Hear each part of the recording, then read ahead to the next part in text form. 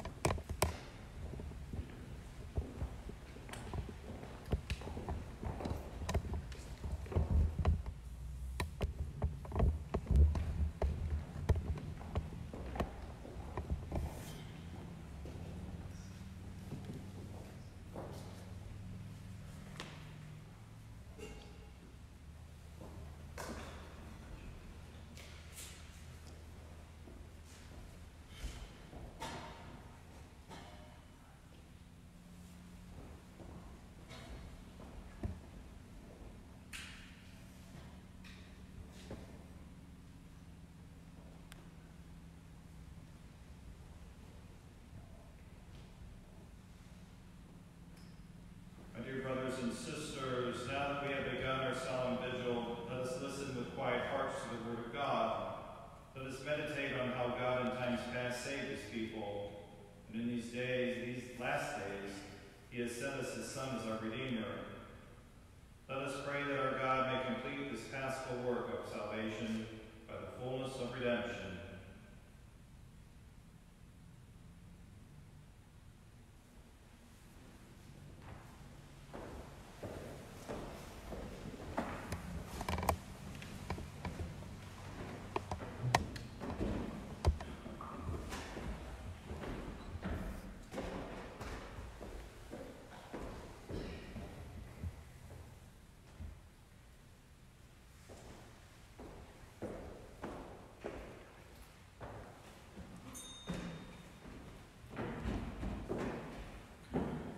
A reading from the book of Genesis.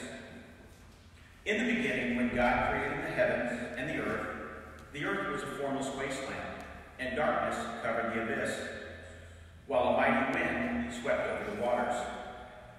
Then God said, Let there be light, and there was light. God saw how good the light was. God then separated the light from the darkness. God called the light day, and the darkness he called night. Thus evening came, and morning followed, the first day. Then God said, Let there be a dome in the middle of the waters, to separate one body of water from the other. And so it happened. God made the dome, and it separated the water above the dome from the water below it. God called the dome the sky. Evening came, and morning followed, the second day. Then God said, Let the water under the sky be gathered into a single basin, so that the dry land may appear. And so it happened. The water under the sky was gathered into its basin, and the dry land appeared. God called the dry land the earth, and the basin of the water he called the sea. God saw how good it was. Then God said, let the earth bring forth vegetation, every kind of plant that bears seed, and every kind of fruit tree on earth that bears fruit with its seed in it. And so it happened. The earth brought forth every kind of plant that bears seed, and every kind of fruit tree on earth that bears fruit with its seed in it. God saw how good it was. Evening came and morning followed the third day. Then God said, Let there be lights in the dome of the sky to separate day from night. Let them mark the fixed times, the days, and the years, and serve as luminaries in the dome of the sky to shed light upon the earth. And so it happened. God made the two great lights, the greater one to govern the day, and the lesser one to govern the night and he made the stars. God set them in the dome of the sky to shed light upon the earth, to govern the day and the night, and to separate the light from the darkness. God saw how good it was. Evening came, and morning followed, the fourth day. Then God said, Let the water teem with an abundance of living creatures, and on the earth let birds fly beneath the dome of the sky. And so it happened. God created the great sea monsters and all kinds of swimming creatures with which the water teems, and all kinds of winged birds. God saw how good it was, and in God blessed them, saying, Be fertile, multiply, and fill the water of the seas. And let the birds multiply on the earth. Evening came and morning followed, the fifth day. Then God said, Let the earth bring forth all kinds of living creatures, cattle, creeping things, and wild animals of all kinds. And so it happened. God made all kinds of wild animals, all kinds of cattle, and all kinds of creeping things of the earth. God saw how good it was. Then God said, let us make man in our image, after our likeness. Let them have dominion over the fish of the sea, the birds of the air, and the cattle, and over all the wild animals, and all the creatures that crawl on the ground. God created man in his image. In the image of God, he created him.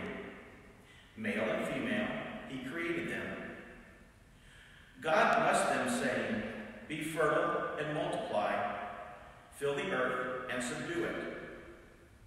Have dominion over the fish of the sea, the birds of the air, and all the living things that move on the earth. God also said, See, I give you every seed-bearing plant all over the earth, and every tree that has seed-bearing fruit on it to be your food. And to all the animals of the land, all the birds of the air, and all the living creatures that crawl on the ground, I give all the green plants for food. And so it happened. God looked at everything he had made, and he found it very good. Evening came, and morning followed, the sixth day. Thus the heavens and the earth and all their array. Since on the seventh day God was finished with the work he had been doing, he rested on the seventh day from all the work he had undertaken. The word of the Lord.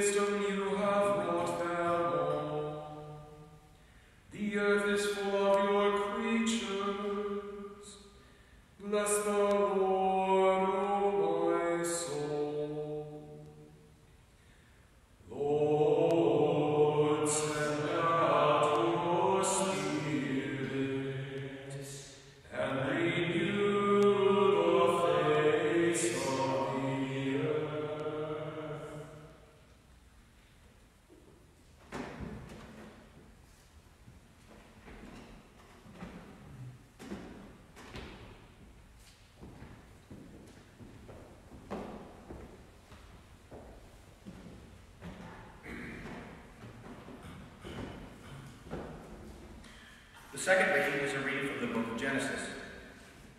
God put Abraham to the test.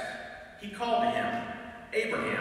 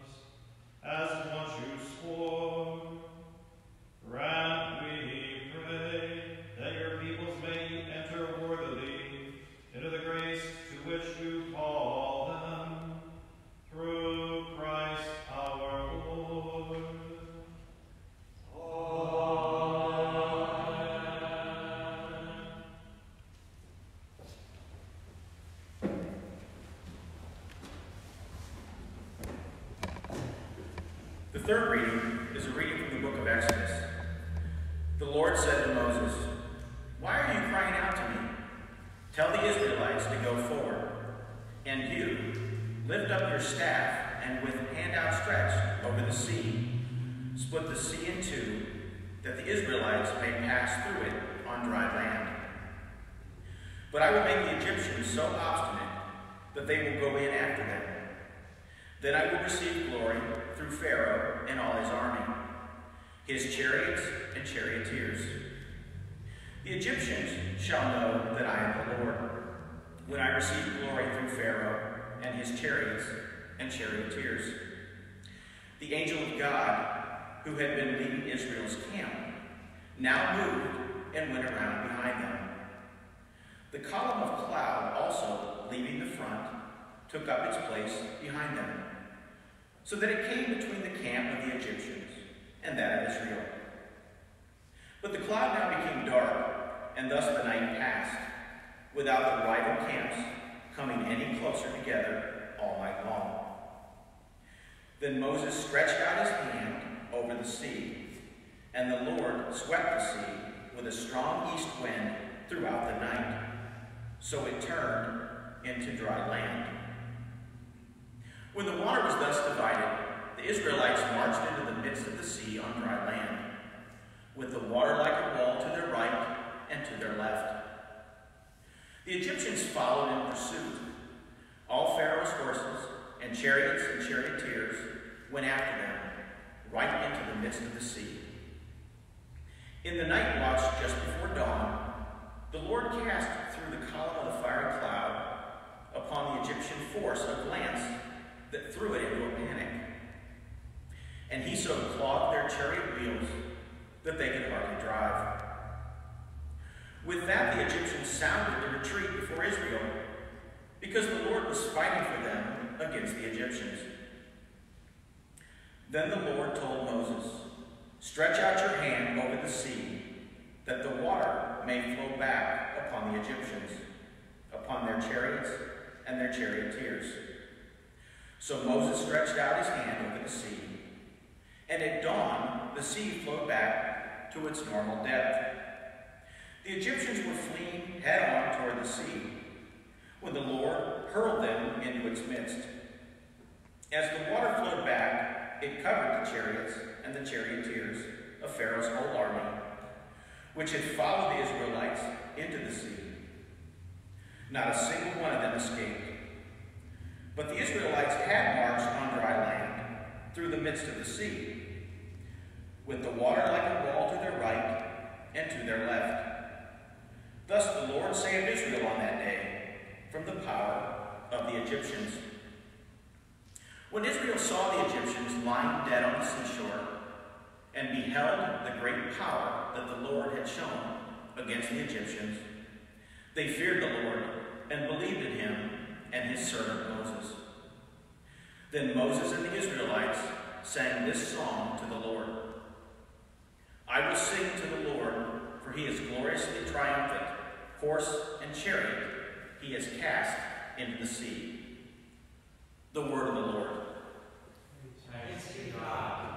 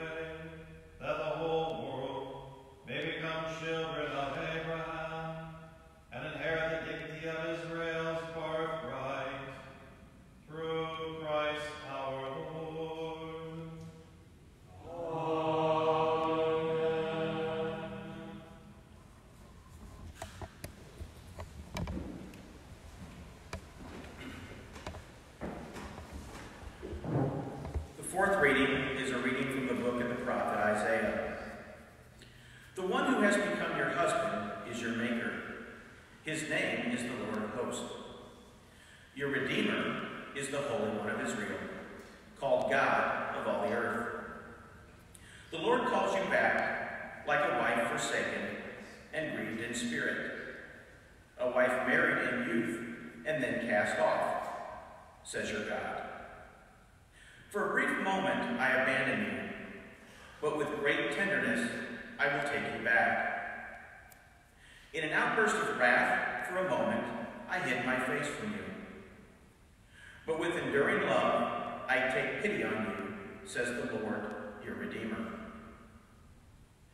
This is for me like the days of Noah, when I swore that the waters of Noah should never again deluge the earth. So I have sworn not to be angry with you or to rebuke you. Though the mountains leave their place and the hills be shaken, my love shall never leave you, nor my covenant of peace be shaken, says the Lord, who has mercy on you. O afflicted one, storm battered and unconsoled, I lay your pavements in carnelians and your foundations in sapphires. I will make your battlements of rubies, your gates of carbuncles, and all your walls of precious stones.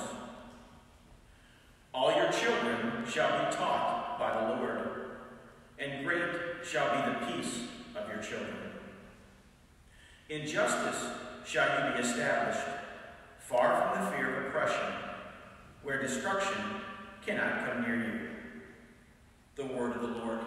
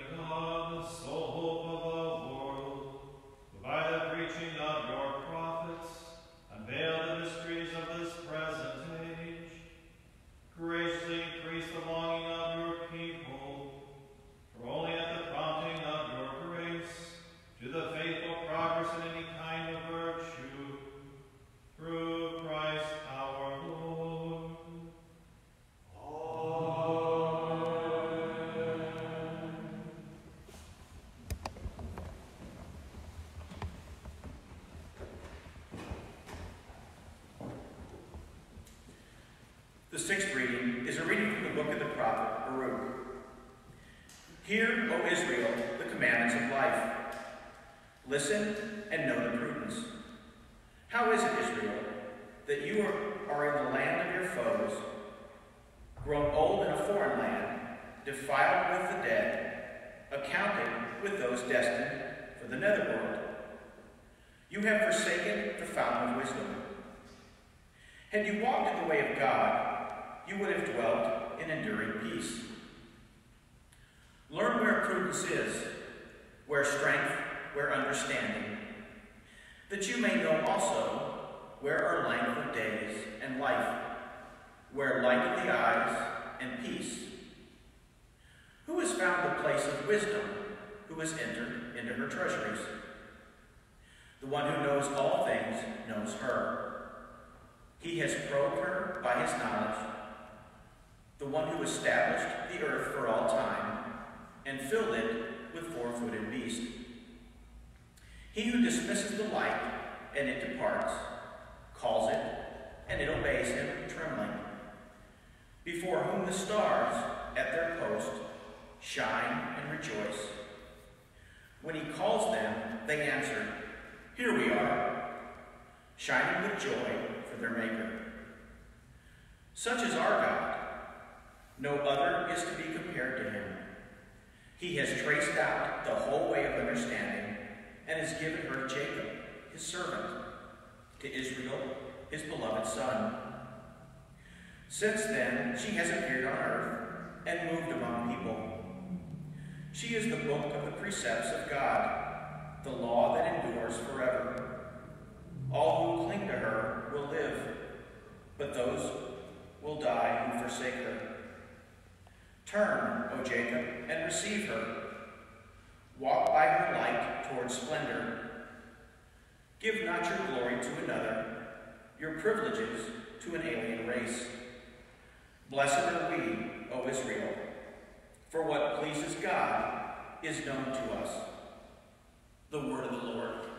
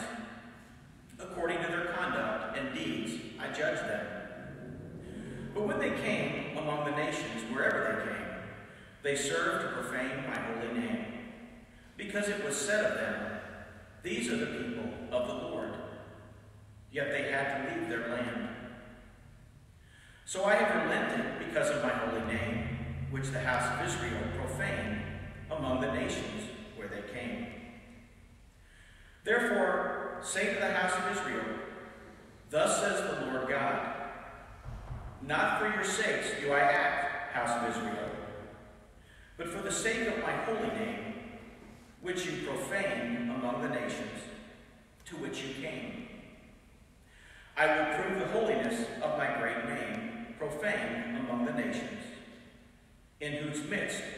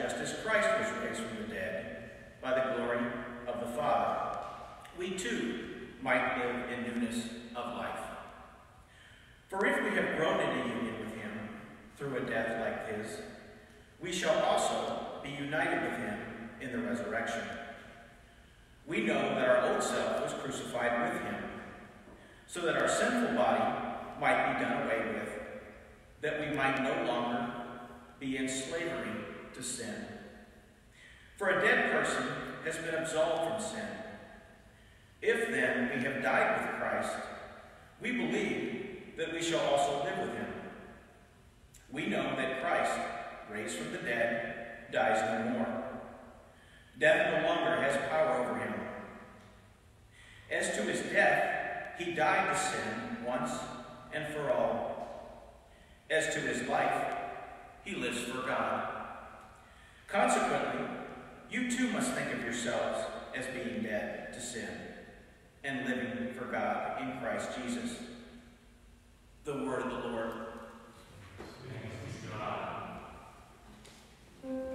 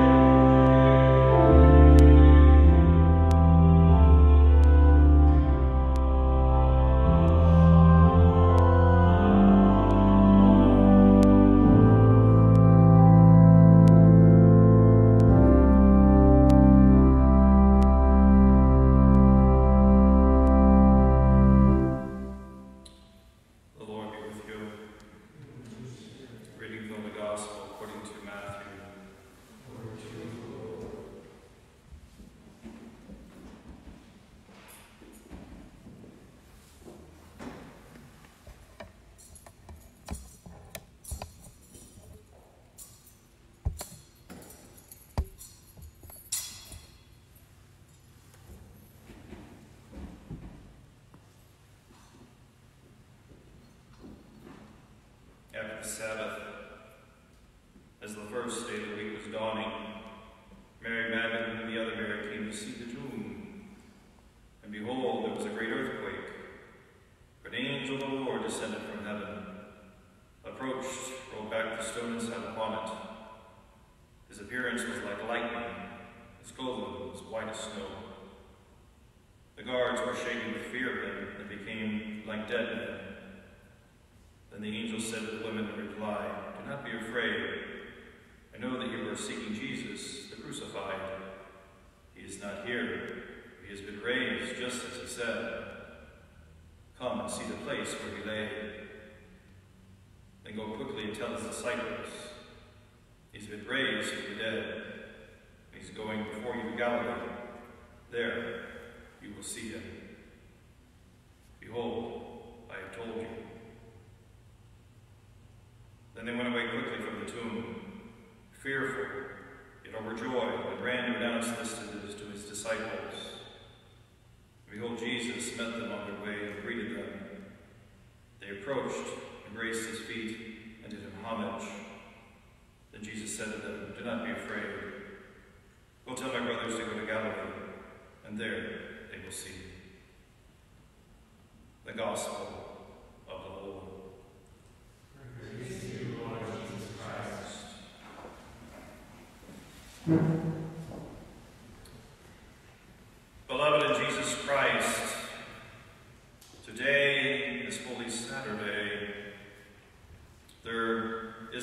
silence on the earth.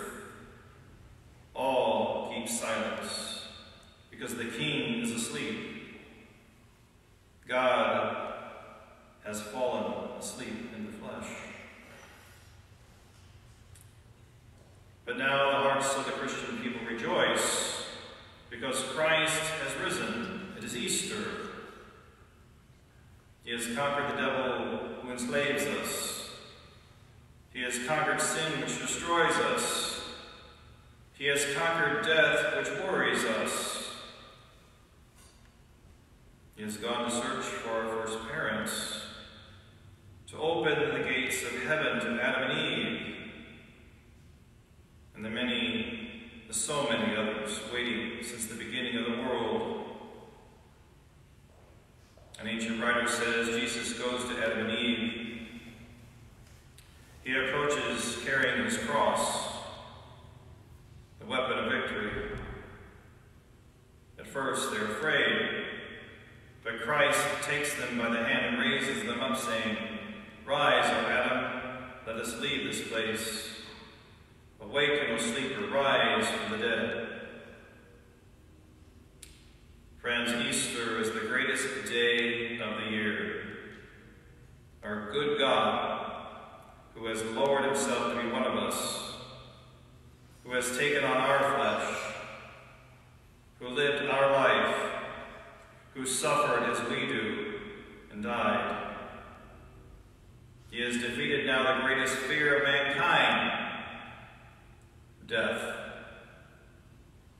This was the reason that upon hearing that Jesus had actually done it, conquered death, when Peter and John heard, they ran as fast as they could to the tomb. John went into the tomb with Peter, and it says he saw and believed. So many people wrongly believe that our eternal destiny is to be some kind of floating soul, floating soul, up there somewhere.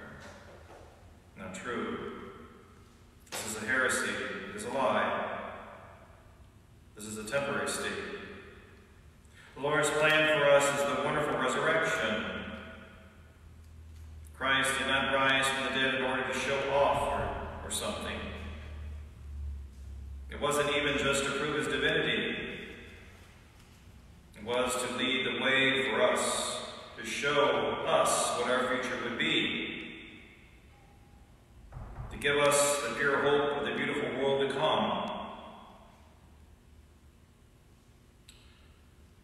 The resurrection of Christ means our own resurrection in two ways freed from sin and freed from eternal death. In each case, we become a new creation. Freed from sin in this life, He offers it. All we have to do is say yes to the forgiveness that has been won for us. Freed from eternal death, this we live by hope in this world and reality in the next world to come. St. Melito tells of Christ's attitude towards us, where Christ stresses, I did not create you to be a prisoner in hell. Rise from the dead. I am the life of the dead. For you are in me and I in you. Together we form one person and we cannot be separated. The promise of our own resurrection in the world to come is really what makes life worth living. Some time back, a friend asked me where I wish to be buried when I die. I hadn't really thought about a grave or where it would be. But I could, of course, die in time. So, figuring I should attend to this, I called the cemetery where my father is buried and asked if there were any extra plots available there. Thought it would be nice for us to rise together at the resurrection on the last day. You know, I felt a great happiness when I thought of this. To have a strong faith in the resurrection and the world to come ahead made me very happy. It would be so nice for us to rise together at the resurrection on the last day.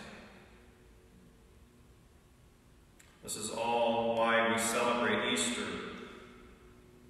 Even those of you at home, God knows your heart and knows how much you wanted to be here today. May our Lord and Savior Jesus Christ bless you and your family with his Easter peace. Remembering that it would be so nice for all of us to rise together. May the prayers of the Most Blessed Virgin bring us all the joy and hope of the resurrection of the dead and the life of the world to come.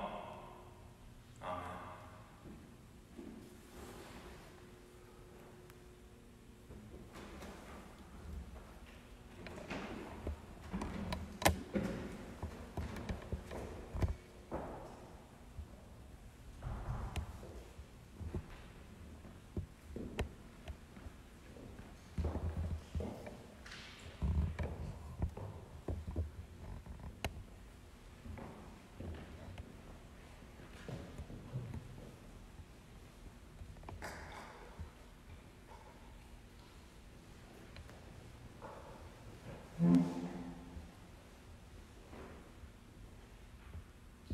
My dear brothers and sisters,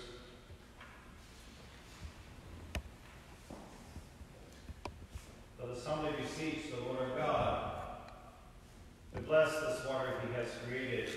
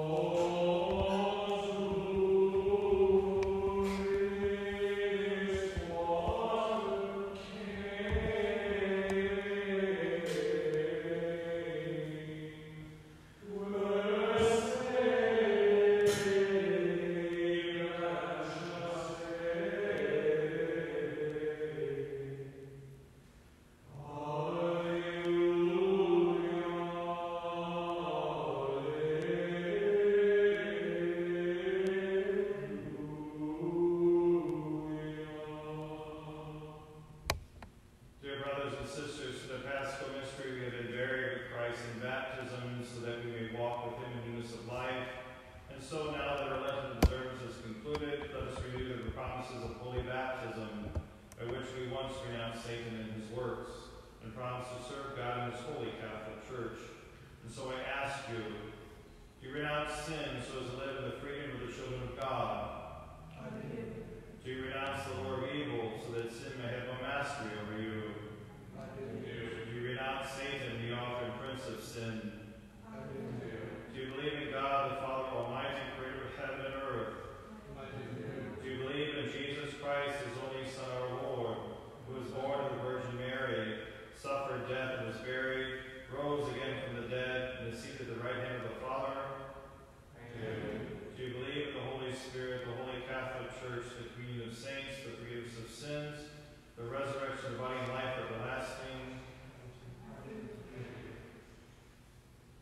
And may Almighty God, the Father of our Lord Jesus Christ, who has given us new birth by water and the Holy Spirit, and bestowed on us forgiveness of our sins, keep us by his grace in Christ Jesus our Lord for eternal life. Amen.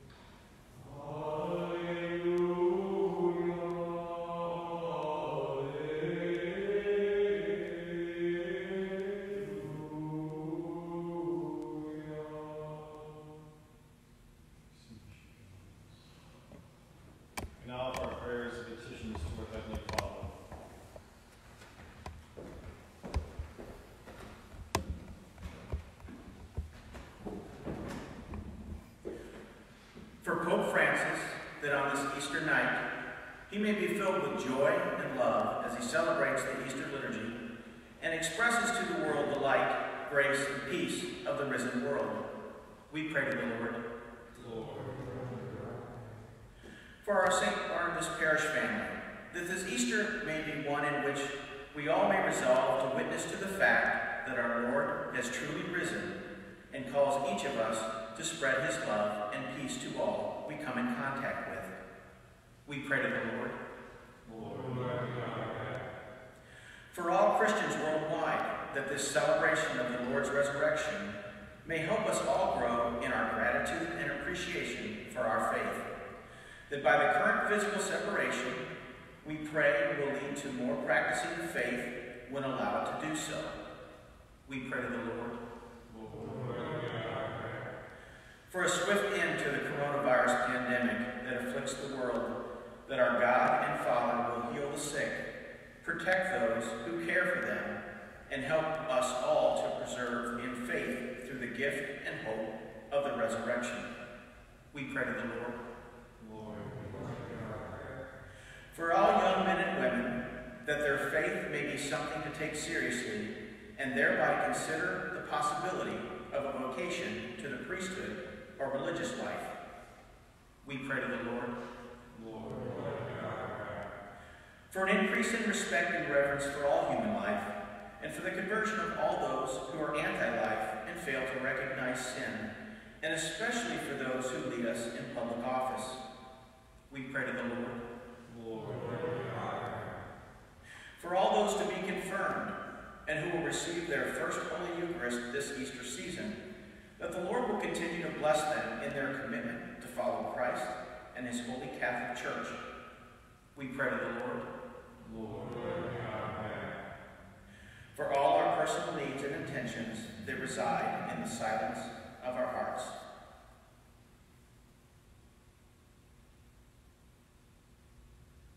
We pray to the Lord.